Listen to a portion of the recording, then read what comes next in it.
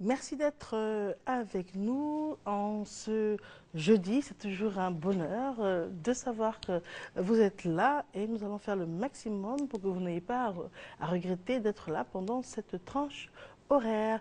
Vous appréciez énormément M. Eric euh, Abou Keita, qui est notre personne ressource du jeudi, parce que vous savez bien évidemment que nous avons une personne par jour. Et le jeudi, c'est notre conférencier et il est également notre conseiller euh, spirituel. Alors, le thème d'aujourd'hui, c'est le pardon et la réconciliation, mais dans l'environnement familial. Donc, on va expliquer, définir. Euh, il y a sûrement un pardon de façade, donc, qui induit euh, ceci, qui induit cela. On va y voir plus clair, ce sera pour tout à l'heure. Monsieur Tano euh, est heureux, comme tous les jours de lundi au vendredi, d'être euh, avec nous, avec euh, vous. Et il, y a, il a une sélection qui vient de la RTI Musique. Et le premier choix, c'est Charlie Yuka.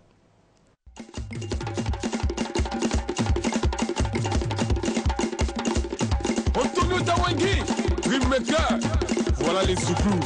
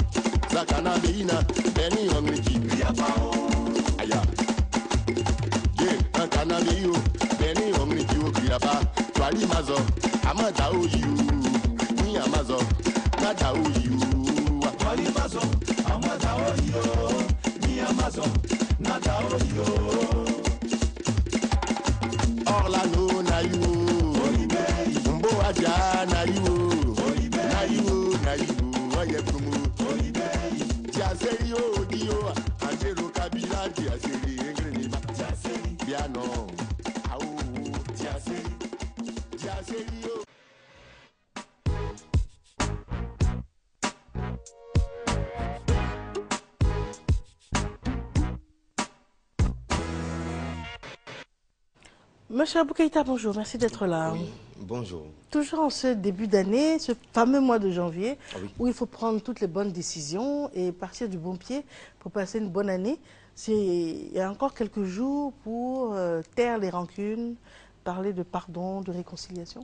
Oui, c'est vrai que euh, tous les parents souhaiteraient que, effectivement, que la famille puisse évoluer, et afin que tous les enfants puissent réussir à leurs examens, ceux qui travaillent puissent avoir de la promotion, ceux qui ne travaillent pas puissent avoir un boulot, que tout le monde puisse euh, véritablement prospérer et que tous les enfants qui sont en quête d'âme sœur, de foyer, de stabilité et tout ça. Donc, tels sont, n'est-ce pas, les vœux qui sont prononcés pour la famille.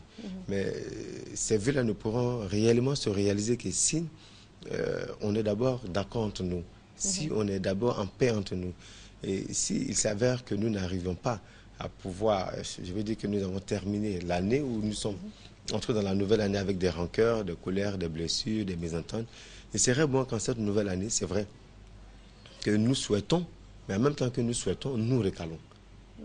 Parce que la rancune et la colère ont la possibilité de bloquer nos vies. La oui, oui, oui.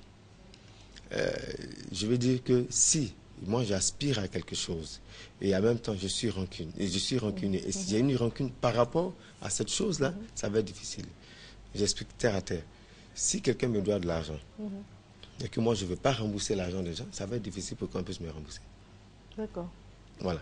Maintenant, si j'ai perdu mon boulot et que j'arrive pas, n'est-ce pas, euh, à pouvoir pardonner la manière dont on m'a éjecté de ce travail, que je recherche un autre boulot, ça va être difficile encore pour moi d'avoir ce boulot. Il va falloir que je fasse d'abord la paix avec mon ancien employeur, euh, afin que je puisse partir avec un cœur blanc pour pouvoir. Mais c'est difficile, dans le Ah sens oui. où, des fois, si, en parlant de boulot, si on, est- on estime avoir été euh, vraiment, comme vous avez dit, tout s'est mal passé, la personne porte plainte et puis Oui. inspection du travail, le, le- le dossier est en cours. Oui. Donc c'est difficile de, de- qu'il n'y ait pas de rancune ni d'animosité. Oui, mais, mais en matière de droit, en matière de droit, je pense que euh, je peux aller poser ma plainte euh, pour que je sois dédommagé. Mais ça ne veut pas dire que je dois forcément garder ma rancune. Mais il y a une frustration. Oui, il y a une frustration. il y a des conséquences, Oui, que- il y a des qui, qui ont découlé du fait que la personne soit partie comme ça. Oui, c'est vrai. C'est vrai, c'est vrai que ça fait mal. Mais on ne peut pas parler de pardon sans, sans humilité. D'accord, parce que je vous donne des... Enfin, on va, on va essayer d'aller vraiment en profondeur parce que Oui. ce que vous dites, c'est c'est sincère, c'est bien, c'est profond, c'est idéal. Mais c'est pas pas, pas évident. Ne c'est pas aisé. Parce que quand je vois le titre, c'est joli, hein Oui. Pardon et réconciliation familiale. Oui. Mais pour pardonner, à la base, il faut pouvoir, il faut avoir un certain soulagement. Par exemple, dans le cas du licenciement, la personne est Oui. licenciée, du jour au lendemain, sa vie bascule, elle recommence à zéro, elle met sa vie, ses enfants, sa famille financièrement en danger, Mhm. par exemple. Donc, euh, elle se dit, bon, il faut que j'attaque mon employeur en justice parce que je ne suis pas d'accord. Ça, c'est une étape. Pendant ce temps, il faut que je cherche du boulot. Mais à quel moment est-ce que vous pouvez lui demander de, de- de pardonner? Elle est frustrée, elle estime avoir été lésée. Effectivement, euh, dans le pardon, il ne faut pas d'abord attendre que la personne décide de reconnaître son tort avant que vous n'acceptez de pouvoir pardonner à la personne. Non, le pardon, c'est vous qui acceptez de renoncer, c'est vous qui acceptez de surmonter, c'est vous qui acceptez de, de, de passer par-dessus. D'où vient le pardon? Se mettre par-dessus l'offense. C'est vous qui recherchez quelque chose. C'est vrai qu'on vous a humilié, on vous a, on vous a rabaissé. Euh, Aujourd'hui, il y a beaucoup de conséquences. C'est tellement les enfants ne vont plus à l'école. Euh, Bon, La situation est présente. peut-être que madame même est prête à vous lâcher Tout parce qu'il n'y a pratiquement plus rien. sous. Et puis celui qui vous a fait ça, il est heureux, il est Et, content. et puis la vie continue, la vie est La vie Et continue. vous voulez que la personne pardonne? Mais c'est ça, mais ah, c'est ça le Aidez-nous à pardon. avoir cette profondeur spirituelle. Ah oui, Parce que là, je pense qu'on est dans la spiritualité. ah oui. La personne vit un drame en train Oui. de, de- de pourrir debout et vous lui dites pardonnez. C'est difficile. Oui, on n'a jamais dit que le pardon est facile. Le pardon est difficile. Mais le pardon se fait progressivement. Le pardon se fait avec le temps. Dire à une personne, euh, je viens, je t'ai offensé, donc pardonne-moi. Maintenant, là, tu veux que j'accepte. D'abord, pour qu'une personne... C'est la nouvelle année, vous avez dit. C'est la nouvelle année. Ouais, mais c'est ça, Oui, comment on fait mais c'est la nouvelle année. Euh, le conseil que nous donnons, euh, on demande d'abord à la personne de regarder d'abord dans le futur. Euh, nous disons que tous ceux qui acceptent de garder comme colère, comme rancune, tout ce qu'on les a fait, c'est clair que ça va les créer des blocages devant. Ça, c'est une loi spirituelle. Malheureusement, C'est comme ça. c'est comme ça. Et le jour que vous acceptez, je vous donne un exemple très simple. Nous avons fait une émission, je crois, ici, avant la guerre. Nous avons parlé de pardon. hein. Et puis, il y avait une dame qui... qui Il y a longtemps qu'on est ensemble. Ah oui. Il y a Ah longtemps. hein. Il y a vraiment longtemps. Dans les anciens décors et tout. dans les anciens décors. Et puis, voici une dame qui n'arrive pas à pardonner à une autre parce que ces derniers ont remis sa fille au dehors, sa fille qui travaillait dans une entreprise. Sa fille était, euh, je crois, gestionnaire de cette entreprise, donc elle met la fille dehors, tout ça. Et puis après l'émission, elle appelle, ah vraiment c'est difficile. Je dis, madame, si vous n'acceptez pas de pardonner, ça va être difficile pour que votre fille puisse reprendre son boulot. Elle dit, mais cette dame, de qui elle, pour qui elle se prend, pour qu'elle fait ceci, pour qu'elle fait cela Madame, acceptez de pardonner. Au bout de trois mois, elle appelle. Elle dit, ah, monsieur Abou Keita, euh, vraiment, continuons encore de prier parce que nous pensons que ce que Dieu a commencé va faire, cette dame sorcière-là qui avait mis ma fille au doigt, euh, aujourd'hui, elle a récupéré ma fille, mais elle a mis simplement ma fille comme caissière au lieu d'être euh, la gérante. J'ai dit, mais est-ce que vous avez pardonné totalement, complètement? Elle dit, tu vois, c'est pas facile, mais j'ai pardonné un peu. J'ai dit, bon, le fait d'avoir pardonné un peu, C'est déjà une étape. c'est déjà une étape. Mais c'est ce qui a fait que votre fille est restée au stade de caissière. Si vous avez pardonné complètement, elle aurait pu récupérer son ancien poste. Donc, la position euh, professionnelle de cette fille-là dépendait de sa maman qui n'était pas prête à pouvoir pardonner. Si elle acceptait de pardonner facilement, eh bien l'autre allait récupérer son poste. C'est aussi mathématique que ça. C'est comme ça. Je vous prends un exemple des frères et sœurs. Il y a le père euh, qui a une santé fragile et puis qui dit Ah, Mon fils, c'est toi qui vas me tuer parce que je sens que je n'ai pas le cœur pour supporter tout ce que tu fais, tout- toutes tes frasques. Oui, Et la grande sœur dit Toi, fais attention, si papa meurt, c'est toi. oui. Et puis l'enfant dit Oh. Et puis effectivement, l'enfant fait une frasque. Et puis on l'appelle pour dire que l'enfant a été arrêté. Le père a une crise cardiaque et puis il meurt. Oui. Voilà, donc la grande sœur ne peut que être fâchée avec son petit frère et même l'accuser d'avoir tué leur père, par exemple. Maintenant, vous lui dites, euh, ça s'est passé il y a deux mois, vous lui dites avant le 31 janvier, il faut pardonner. Ouais. D'abord, si elle-même, si elle refuse de pardonner, elle-même va se retrouver. La nature fera de telle sorte qu'elle se retrouvera dans une situation semblable où elle verra si c'est facile ou pas. Ah oui. Aujourd'hui, vous êtes accusateur, mais demain, l'histoire fera que c'est vous qu'on va pouvoir accuser. Ce que vous reprochez aux autres, c'est clair que du jour au lendemain, la nature fera qu'on vous accusera de la même chose.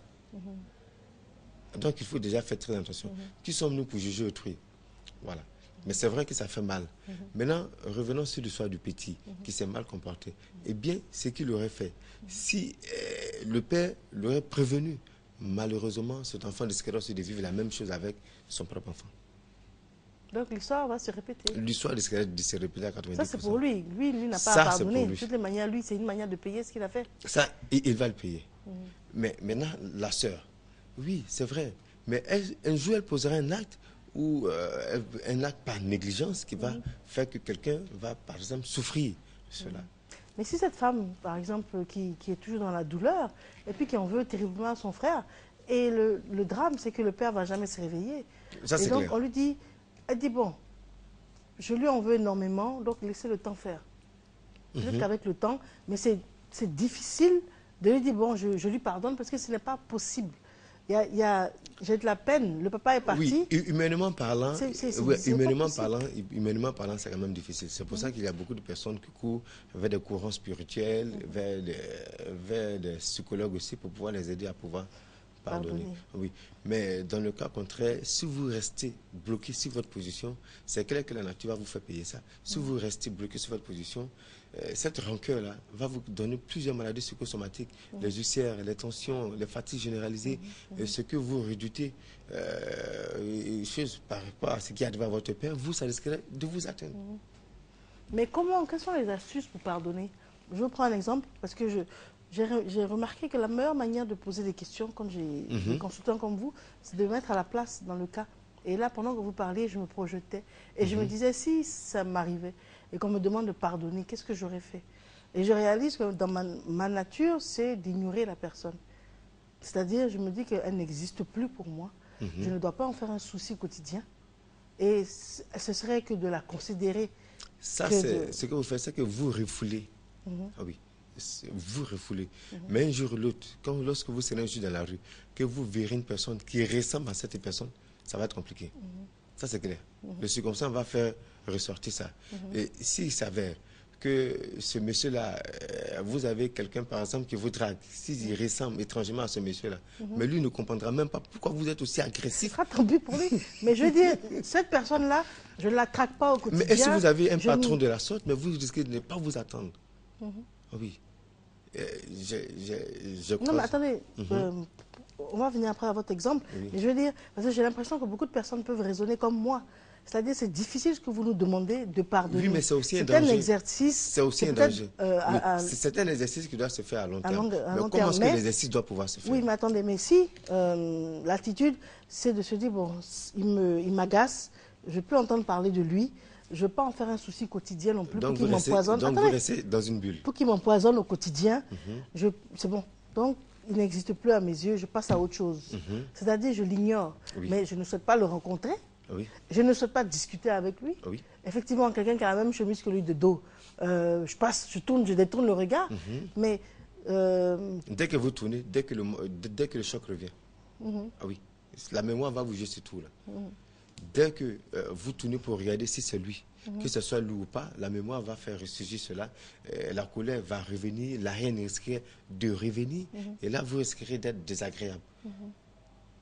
Donc D'accord. c'est pour cela qu'on demande, euh, c'est vrai, il faut affronter le mal, c'est vrai, dire je refoule, ça Mhm. va vous donner un certain bien-être pour un certain temps, c'est vrai. Mais si vous regardez un film, que vous voyez la scène de façon similaire en train de se reproduire, Mhm. vous allez répliquer une autre crise. mais c'est normal, on, chacun a les souvenirs. Mais pourquoi ne pas chercher à guérir cela? Mais comment on fait? Voilà. Je donne d'abord un, un- un autre exemple. Voici une jeune dame qui n'a jamais accepté de voir euh, son père en train de martyriser sa mère. Aujourd'hui, elle est dans son foyer. Dès que son mari hausse un peu le ton, elle réagit, devient très agressive. Alors pourquoi? Parce que non seulement elle n'a pas pu supporter, mais elle aurait souhaité que sa mère puisse réagir. Malheureusement, la mère n'a pas pu réagir.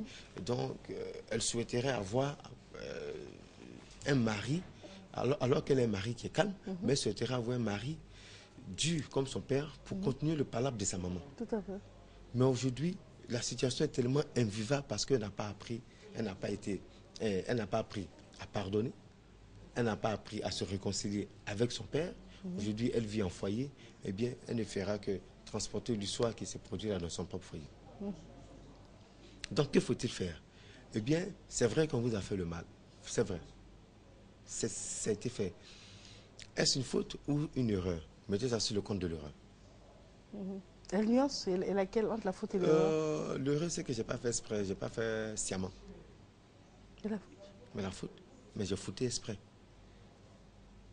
Ah oui. Donc, chaque fois qu'on fait une faute, c'est exprès? Euh, très souvent, c'est exprès. Bon, c'est une erreur. Bon, vraiment, je n'ai pas fait exprès. C'est pour ça qu'on dit c'est une erreur. Hein, je ne savais pas que. Toi, on dit je suis en faute, je m'en excuse. Ah oui. Des fois, pas. Effectivement, effectivement, là, je réalise que consciemment, j'ai posé l'acte, euh, mais je réalise que vraiment, ça t'a blessé, tu n'es pas content. Ah, Là, vraiment, je suis vraiment en faute. Là, je réalise vraiment ma faute. Là, j'ai fait mon meilleur culpa. Mais je ne savais pas, par exemple, qu'en déplaçant le gobelet là pour mettre de l'autre côté là-bas, ça n'allait pas te plaire. Quelle est la faute que j'ai commise en réalité? Oui. Euh, Mariam, c'est pourquoi elle a déposé ce gobelet là, là? Juste pour recevoir, je ne sais pas, quelques gouttes de pluie. Et moi, je déplace le gobelet là. Est-ce que je l'ai fait sciemment dans le but de te faire mal? Non, je ne l'ai pas fait. Voilà, c'est une erreur. Donc, on peut laisser ça tomber. Voilà. Donc, pour nous-mêmes, il faut accepter de faire certaines concessions. Est-ce qu'on doit forcément tenir rigueur? Si on doit tenir rigueur, la société ne pourrait pas avancer, la famille ne pourrait pas avancer, et nous-mêmes, nous ne pourrons pas être épanouis. Et le seul fait que nous gardons tout le temps la colère, eh bien, nous nous refermons sur nous-mêmes, nous nous blessons nous-mêmes, nous nous détruisons nous-mêmes, nous faisons du tort aux autres. Nous deviendrons perturbés et nous allons perturber les autres. La situation nous a dérangés. Nous resterons dérangés et face à la société, nous allons continuer de déranger les autres. Quand vous voyez quelqu'un dans une société qui est perturbé et qui perturbe les autres, c'est que la personne est perturbée. Tout à fait. Oui, celui qui dérange est une personne qui a d'abord dérangé.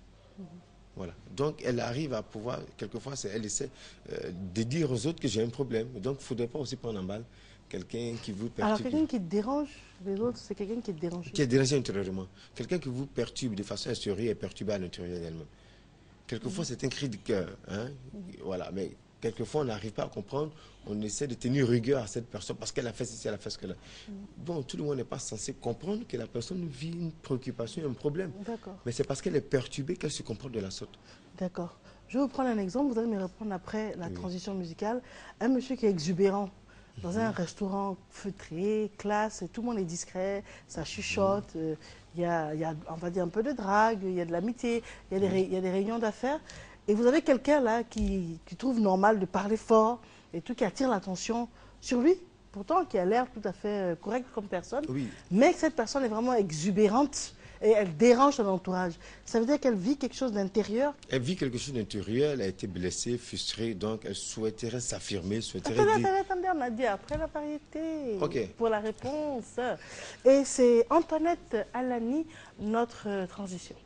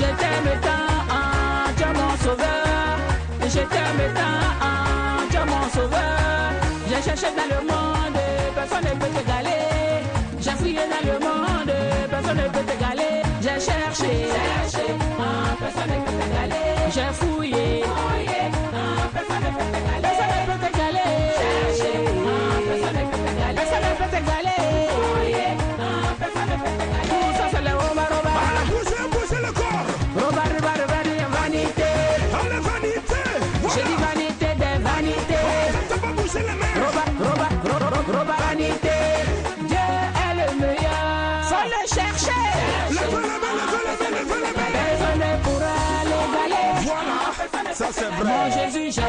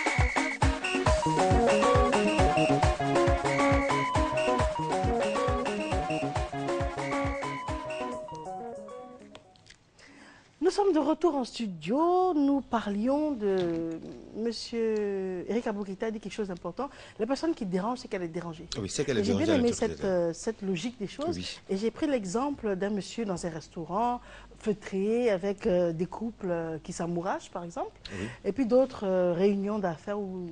Et puis il y a un monsieur qui est tout à fait exubérant. On n'entend que lui dans le restaurant, au point où tout le monde se retourne pour dire mais c'est qui celui-là? Et puis il continue, il est exubérant, il bavarde. hein. et les gens sont gênés. Parce que les gens avec qui il est venu euh, sont beaucoup plus discrets. Mais lui, on sent qu'il veut moi, je, moi, je. Et c'est lui qui parle fort pour que tout le monde écoute. Ça veut dire qu'il est dérangé. Oh Oui, cette personne est dérangée, cette personne vit un complexe. Très souvent, c'est un complexe d'infériorité qu'il souhaiterait surmonter. Si c'est dans une réunion d'affaires, est-ce que ce monsieur-là, est-ce que là où il est, est-ce qu'il n'est pas peut-être euh, célibataire quelque part, où son patron euh, met trop la pression, où il- là où il est, il ne peut pas parler, il ne peut pas réagir. Et lorsqu'il se retrouve à l'extérieur, c'est en ce moment qu'il voudrait s'affirmer, comme s'il voudrait se venger de ce qu'il vit euh, dans son lieu de travail. Si c'est par exemple dans un couple, dans, une, euh, dans un tout, tout le monde est en train de s'amouracher, eh bien, est-ce que ce monsieur dans ce couple n'est pas matérialisé, ne souffre pas?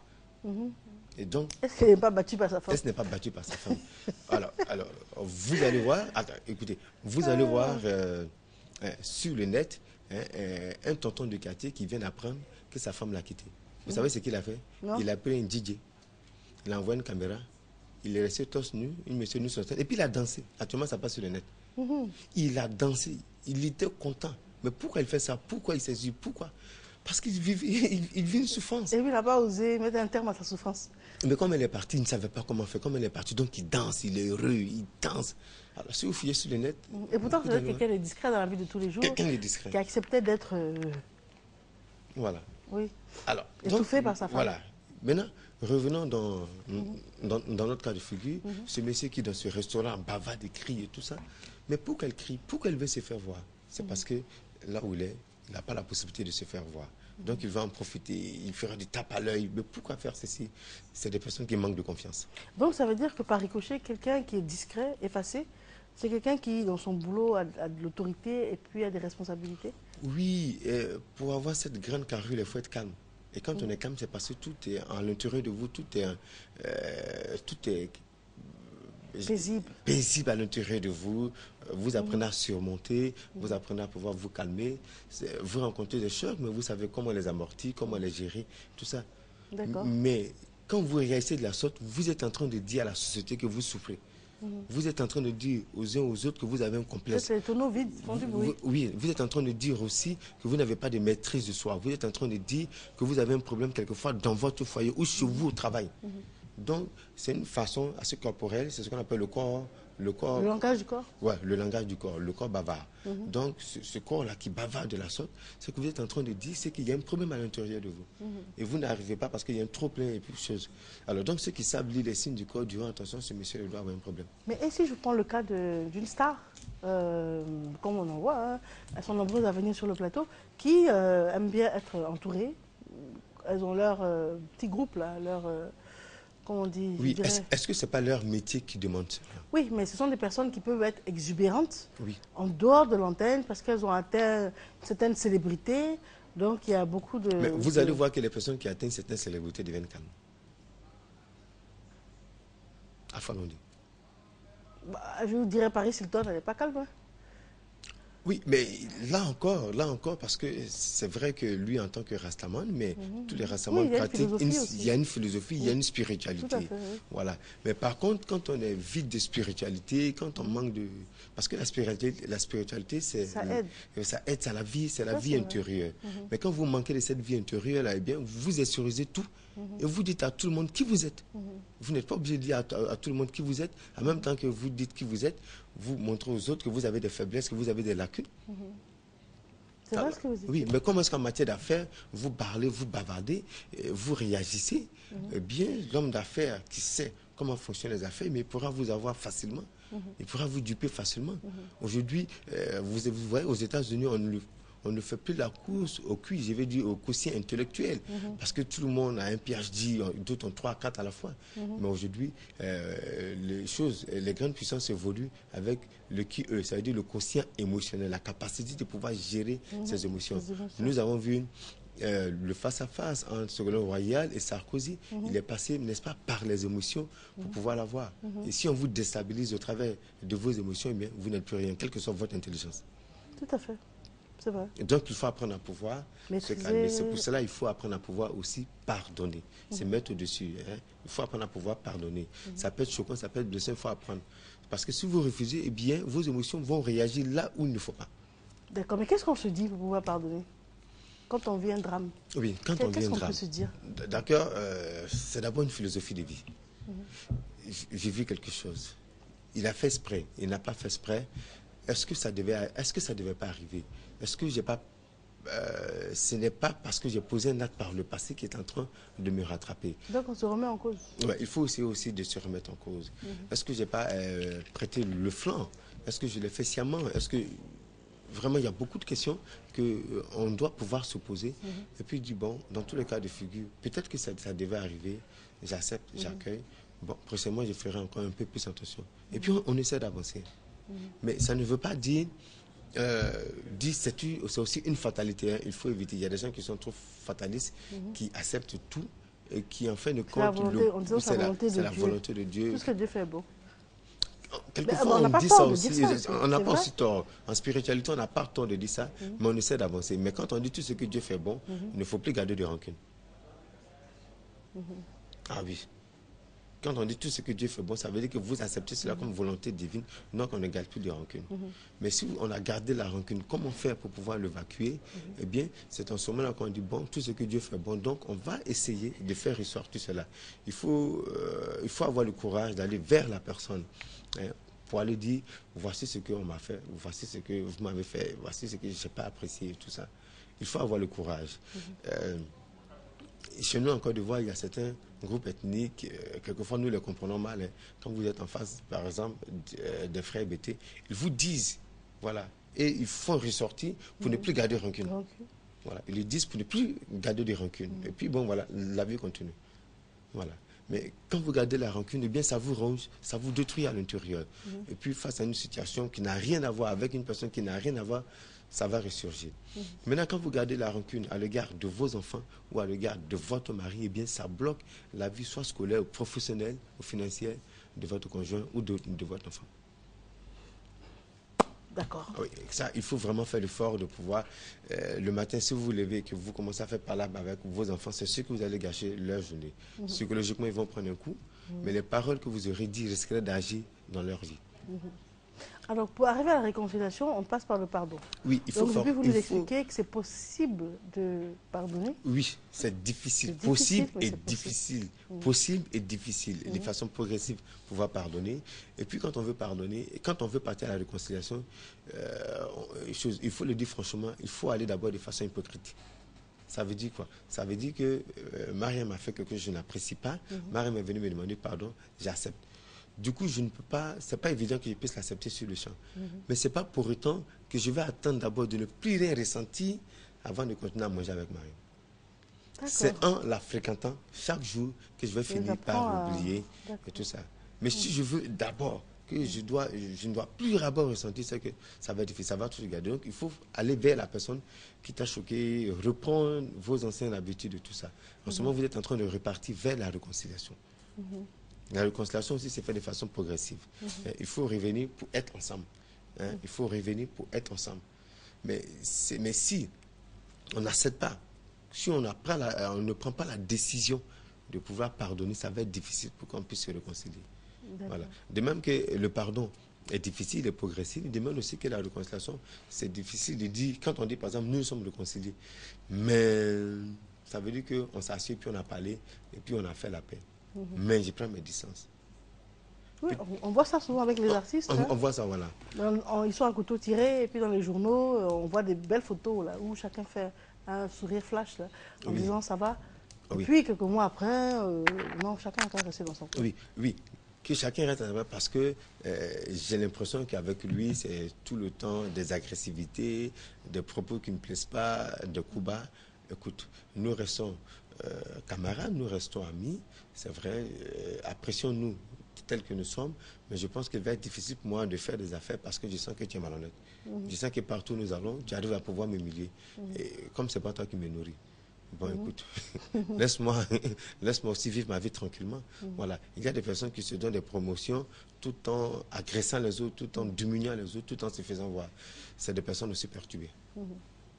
D'accord. Donc d'abord on pardonne et ensuite on va à la réconciliation. On pardonne et puis on va à la réconciliation. Maintenant, si on constate que le pardon n'est pas effectif, allons quand même à la réconciliation. Tout en se fréquentant, tout en étant ensemble, on va finir par réellement, euh, si vous voulez, le pardon, il est intérieur, la réconciliation, elle est extérieure. Euh, Est-ce qu'on met pas l'autre en danger? Parce que dès l'instant où ce n'est pas au départ, ce n'est pas sincère, c'est Oui, beaucoup plus oui. un processus qu'on enclenche. Oui, Mais on peut au Mais- milieu de route se dire j'ai tout essayé, mais vraiment je ne peux pas lui pardonner. Quoi Après ce qu'il m'a fait Oui, pendant qu'il continue encore, Mhm. pendant que vous faites l'effort d'essayer de pardonner, lui continue encore de pouvoir chose. Alors, si vous n'êtes pas fort, Ok, il faut, faut que les deux soient de bonne foi. Bonne il faut aussi. que les deux soient de bonne foi pour que du pardon, nous puissions passer à la réconciliation. Maintenant, euh, l'autre il n'est pas de bonne foi. Voilà. Et puis, moi, je suis de bonne foi. Puis, je dois être de bonne foi. Pourquoi? Parce que je risquerais de bloquer ma vie. Ça encore, je reviens là-dessus. Tout- Tout ce que nous gardons comme colère, comme rancune dans notre vie, nous risquerons de bloquer notre vie. Que ce soit nos projets de mariage, projets de travail, ou bien nous risquerons de créer, euh, de nous créer nous-mêmes des problèmes. Ce que vous dites ressemble à ce que Mme Nefer Bonti disait hier. Hier, on parlait de la joie. la joie qui irradie. Ah Oui. Et on a, en Savoir partager la joie. Tout à fait. On a, En conclusion, on a dit que euh, c'est comme un boomerang. Tu Oui. ne perçois, tu ne reçois que ce que tu as émis. Oui, Donc, et vous dites la même chose, Oui. en fait. oui. Et, et- effectivement, euh, si vous refusez de pouvoir pardonner, Mhm. eh bien, si vous pensez que... euh, parce que quand vous, quand vous refusez de pardonner, vous bloquez aussi la vie de l'autre. C'est pour ça qu'on dit que celui qui refuse de pardonner, celui qui est rancunier est, est un sorcier. Parce Mhm. que le sorcier, lui, il est prêt à bouffer pour lui, pour aller bouffer pour toi. Donc celui qui refuse de pardonner, en même temps que je crée du tort à Mariam, parce que je vais bloquer la vie de Mariam spirituellement, mais moi aussi, je vais accepter de bloquer ma vie. Alors, on raconte partout cette histoire de ce monsieur à qui Dieu demande Que veux-tu que je te donne à condition que je donne le double à ton ennemi Il a dit à Dieu Laisse-moi d'abord réfléchir. Je vais vous dire, frères et sœurs, hein, euh, qu'est-ce que ce monsieur a fait? Il va, il demande au bon Dieu Il faut me répéter ce que tu m'as dit. Et le bon Dieu lui dit Que veux-tu que je te donne pour que je puisse donner le double à ton ennemi? Il dit Dieu, si ça, il n'y a pas de problème. Il faut me casser un œil. Oh, Ça veut dire à l'ennemi? Et c'est aveugle. Voilà. Oh, Donc celui qui refuse de pardonner les méchants. oui. Voilà. Il est sûr que c'est vrai. Il préfère Donc, garder. rien que le fait de savoir que l'autre pouvait être deux fois plus riche que lui, il a préféré pour- passer devant la richesse. Mais il préfère lui-même rester pauvre. Mais c'est ça. Quand vous refusez de pardonner, vous êtes en train de vous appauvrir spirituellement. Et dans les jours qui suivent, ça va se constater. Hein, Dans votre vie, soit matérielle, soit professionnelle, soit spirituelle, soit financière et tout ça. Donc, il est important de pardonner. C'est un chemin qui nous ouvre des portes. Et quand vous acceptez de pardonner, vous retrouvez trois fois, quatre fois plus ce que vous avez perdu. C'est systématique aussi. Ah oui, c'est comme ça, c'est comme ça. Il y a beaucoup de personnes qui nous disent euh, j'ai tel problème, j'ai tel problème, j'ai tel problème. D'accord. Je vous donne par exemple un exemple simple. Pourquoi je dis que c'est important de faire une réconciliation, une réconciliation familiale? Quand vous êtes en train d'entreprendre, suivez très bien. Quand vous êtes en train d'entreprendre et que c'est bloqué, regardez pour voir si vous n'avez pas de problème avec votre papa. Ou si vous n'avez pas eu de problème avec vo- votre papa. Si vous avez entrepris que ce que vous avez fait par le passé, il y a des problèmes, regardez pour voir si vous n'avez pas de problème avec votre maman. La maman est liée à la fondation, le papa est lié à la À construction, à à- à l'élévation. l'élévation. Donc, quand vous venez nous voir, que vous expliquez, j'ai tel, tel, problème, même ce que je faisais avant, ça ne marche plus, on dit, bon, on va vous poser la question, ah, qu'est-ce qui s'est passé avec votre maman? Non, ma maman est morte. D'accord, avant sa mort, ah, ma mère, je ne l'ai pas connue. Qui vous a élevé la femme de votre grand frère, de votre oncle, ceci, eh bien repartez vers elle parce que celle aussi est aussi votre maman. Votre grand soeur D'accord. est votre maman, votre grand-mère est votre maman. Donc il y a toutes ces choses aussi qu'il faut voir. C'est pour ça qu'il est vraiment important de pouvoir se réconcilier. Surtout quand euh, vous voyez quelqu'un qui est agonisant, un parent qui est agonisant, allez-y, faites la paix rapidement avec lui. D'accord. Votre mot de fin? Oui, pardonner est difficile, mais ce n'est pas impossible. C'est un exercice. Au début, c'est vrai, ça fait mal, mais il faut apprendre à aller vers la personne. Il, faut, il ne faut pas fuir la personne. hein. Il faut essayer d'aller vers la personne. Faites l'effort, vous, de pouvoir vous libérer. Si vous voulez faire un acte de réconciliation que l'autre ne veut pas, essayez de forcer. Mais pour vous que vous, vous arrivez à ne plus rien avoir dans le cœur. Si elle refuse, d'a- d'accord. Et forcez-la un peu, un peu, jusqu'à ce qu'elle puisse accepter. Mais selon la limite de votre possibilité, si elle ne veut pas, eh bien, laissez-la tranquille. Si vous essayez de pardonner à quelqu'un qui continue encore de vous agresser, vous essayez de pouvoir vous libérer et laisser la personne tranquille. Après le pardon, aller à la réconciliation, ça veut dire essayer de revivre ensemble, de manger ensemble. Euh, bon, avec bien sûr un certain, euh, voilà, il faut avoir certains garde-fous parce que, Oui, euh, oui, c'est pas parce que naïvement, quand on dit qu'il faut se réconcilier, que je vais aller me réconcilier avec quelqu'un qui sera prêt à pouvoir m'empoisonner encore le lendemain. C'est clair. Voilà. Comme on dit, il y a un proverbe qui dit que quelqu'un qui a été mordu par un... Par un serpent a peur du ver de terre. Voilà, peur du ver de terre. Voilà. Ouais. Donc, euh, c'est vrai que euh, c'est un courant spirituel dit ceci, cela, mais en même temps, il faut pouvoir. avoir- Baliser. voilà. On vous joint comment? 45, 45, 45, 49, 45, 45, 45, 49. Pardon et réconciliation familiale en début d'année. Très important pour le déblocage de, tout ce qui se passe dans la famille. Donc ça veut dire que vous, vous avez euh, aucune rancune envers qui que ce soit? ça ne sert à rien. Quand vous sentez la rancune, quelquefois la mémoire vous joue de tout. Mhm. Mais il faut pouvoir refouler cela. Dire non, non, non, c'est une personne comme moi, elle peut aussi faire des erreurs. Et puis essayons d'avancer. Mhm. Mais celui qui accepte de pardonner, accepte de pouvoir se bloquer. Celui qui refuse euh, de pouvoir se réconcilier euh, avec autrui, eh bien, accepte de pouvoir se détruire soi-même. Alors, mhm. alors que moi, j'ai envie de prospérer. Moi, je préfère que tu aies tes 10 milliards que moi, j'ai au moins 1 milliard. C'est bon si j'ai 1 milliard. Que de rien avoir. Tout à fait, par voilà. Voilà. Je vous remercie. Maréchal euh, DJ est notre choix de variété et nous allons recevoir nos invités de la direction commerciale et marketing.